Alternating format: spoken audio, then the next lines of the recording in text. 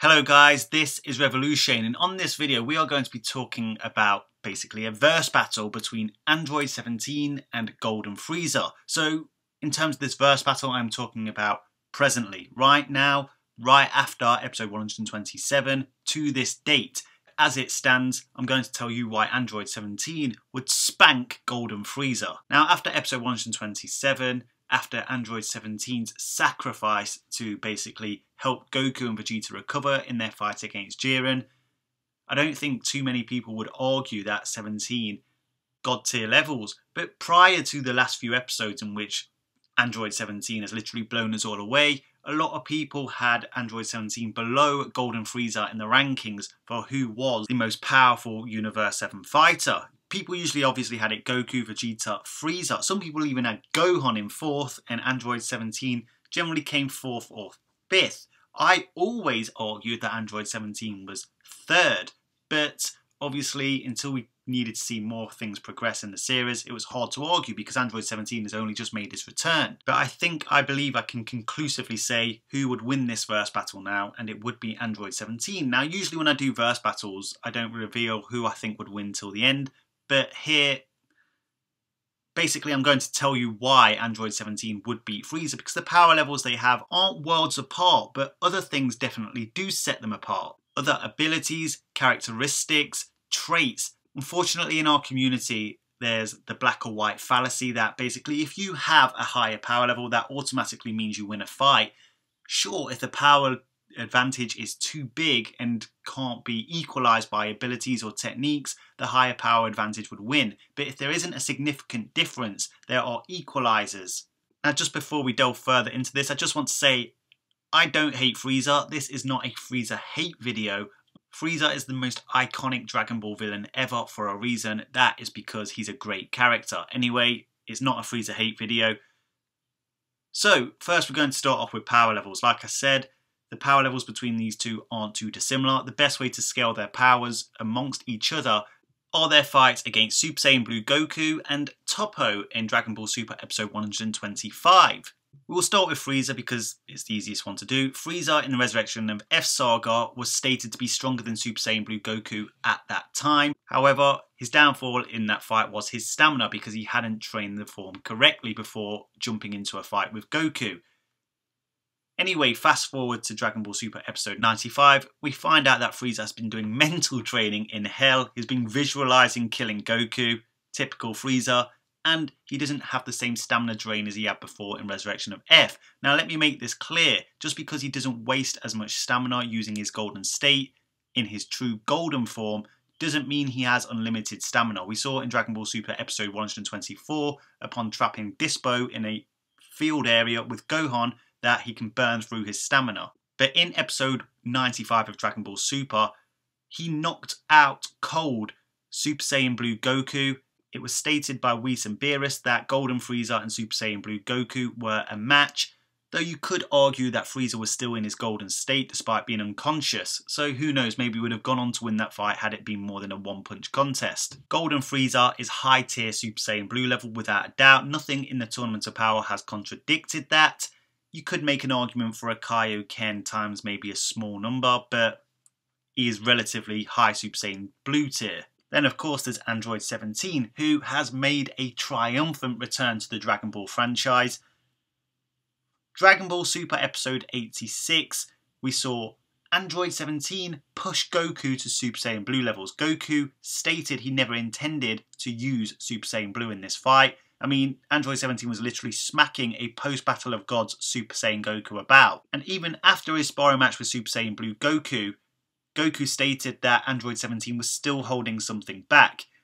At that point, it was still hard to scale Android 17 against Super Saiyan Blue Goku because Super Saiyan Blue Goku is known for literally suppressing his power. But as the tournament has gone on, it's become clear that Android 17 is easily high tier Super Saiyan Blue level. With his Android barrier, he burrowed through Anilaza's attack that was literally holding off Super Saiyan Blue Goku and Vegeta, Ultimate Gohan, and Golden Frieza to ultimately epically body Anilaza's ki sensor. Fought toe to toe with the leader of the Pride Troopers, Toppo, who in the Zen exhibition match was shown to be at least relative to Super Saiyan Blue Kaioken times 10, possibly greater, forcing Toppo to power up just like he did against Super Saiyan Blue Kaioken Goku. However, upon this version of Toppo powering up, he started to overpower Android 17 despite Android 17's infinite energy. This is where Frieza jumped in and together they took down this version of Toppo. Obviously, I'm not talking about God of Destruction Toppo.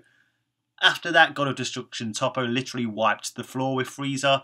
Android 17 was able to hold God of Destruction Toppo off, not because of power though, but because of strategy, and we'll get more to that later. So I think it's fair to say that both of these characters are high tier Super Saiyan Blue levels, potentially low tier Super Saiyan Blue Kaioken levels, but ultimately the important point in this contest between the two, their power levels aren't significantly different. So with power levels, I would say it's a tie. There may be marginal differences, but they are relatively close to each other. The next category I often look at are fighting abilities. Now, Frieza generally relies on his power. He tries to use brute force to win his battles, we know from the resurrection of F Saga that he's never trained, which means he's likely never trained in martial arts. But obviously, you can count his four months of training whooping Tagoma, whatever that's worth. However, Android 17, upon being an android built by Dr. Gero, Dr. Gero sent out a bug that literally scouted all the Z Warriors, which included Mecha Frieza and installed the information into the android's biotechnology. Of course, that doesn't pertain to the resurrection of F Saga, but at the same time, it's irrelevant because basically what this means is that Android 17 does know martial arts. Now, this isn't to say that Frieza isn't a good fighter as well. He makes good use of his tail, which comes in handy quite a lot and often can serve as an equalizer to higher speed or power.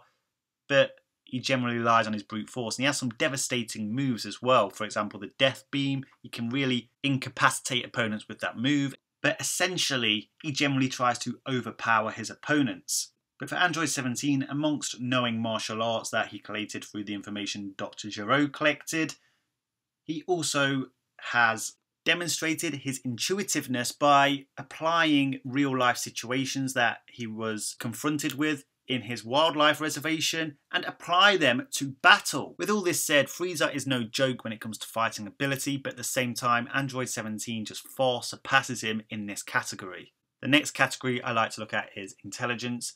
Android 17 once again has shown his intuitiveness in this tournament, applying real life situations into the battle helping him win fights strategically. He has proven to be a strategic genius. I would say he even surpasses Piccolo and Vegeta in terms of his strategic prowess. He's intelligent enough to stay calm and observe what is happening in front of him to make the best conclusion. Frieza, on the other hand, once again, is by no means stupid. But Frieza's problem is, is he allows his emotions to overpower his logical thinking and makes rash decisions. If Frieza could put his ego aside, yeah, sure, you could say that Frieza's intelligent. You wouldn't be able to run a galactic empire the way the Frieza Force was ran without intelligence. He was also able to outsmart somebody else who was considered quite intelligent, and that was Frost. But at the same time, if you go back to Resurrection of F, his ego got the better of him and he rushed into a rematch with Goku, and ultimately it didn't end well for him. Android 17 is calm, collected, evaluates situations, and intuitively applies himself in battle. So once again, Android 17 takes the intelligence category. The next category and most fun category is the abilities and techniques category. Now this is an interesting one because Frieza's endurance is impeccable. In terms of endurance, hands down, he takes this category over pretty much anybody in the Dragon Ball franchise. So obviously you've got to be reasonable about this. If Frieza had the same power level as Super Saiyan Blue Kaioken times 20 Goku, Frieza would have the better endurance because that's how his body composite works. I'm sure you all remember after Namek blew up, Frieza was literally in pieces in space, yet survived and got rebuilt into Mecha Frieza. That's his bodily functions allowing him to survive. Remember, he doesn't have regenerative abilities that the likes of Cell and Majin Buu have. This is the endurance of his body alone. But as we saw against Super Saiyan Goku on Namek, as we saw against God of Destruction Toppo in Dragon Ball Super Episode 125, endurance can only take you so far. However, Frieza also has his Supernova attack, which basically if you scale up to his true Golden Frieza levels at full power should be universal plus indestructive capacity. However, being an infinite model android, Android 17 has unlimited energy. Now let's just get this straight. This doesn't mean he can output a larger amount of ki than somebody like Beyond Blue Vegeta, who can output larger amounts of ki than 17 despite not having infinite energy. This just means he can literally keep going forever.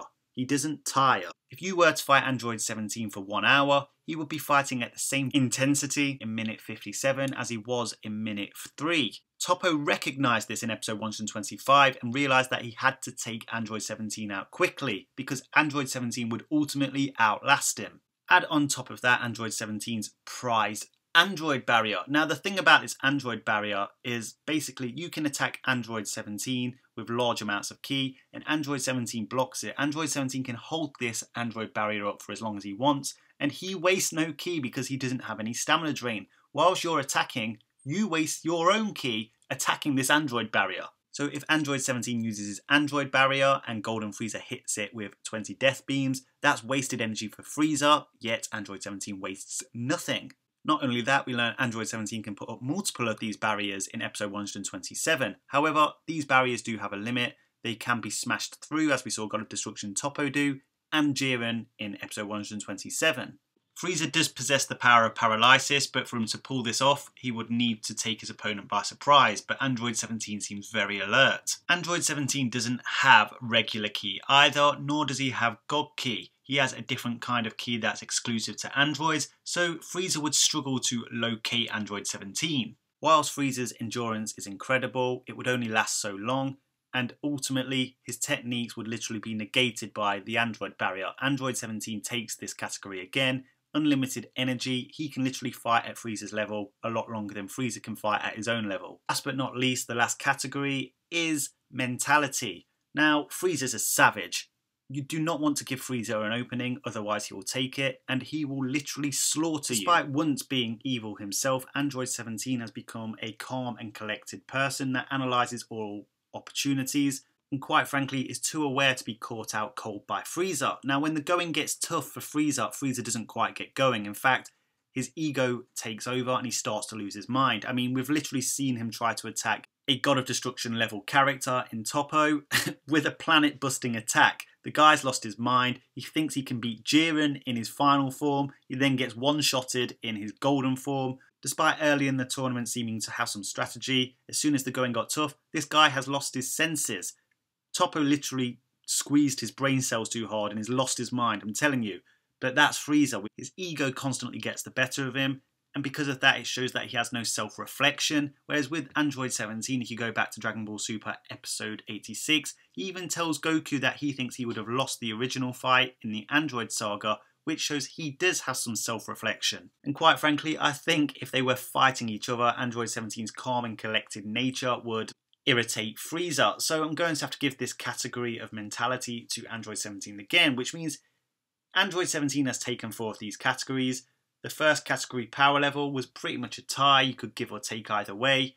Android 17 literally has an advantage over Frieza. Frieza would not be able to deal with Android 17 as soon as he starts to tire.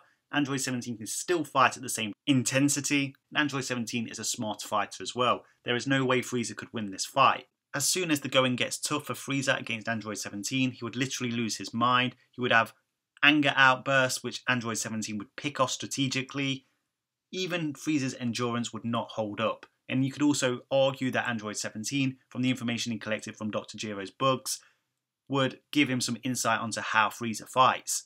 As much as I love the character of Frieza, he would quite simply get spanked by Android 17. So guys, let me know your thoughts in the comment section. Do you agree with my conclusion to this fight or do you believe there's something I've missed out? Let me know your thoughts in the comment section. Is there any other verse battles you would like me to cover on this channel in the near future?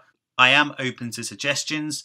If you like my videos, keep smashing that like button, lending me your energy. If you enjoyed this video or enjoy my videos in general, make sure you are subscribed. Until next time, Ad Astra.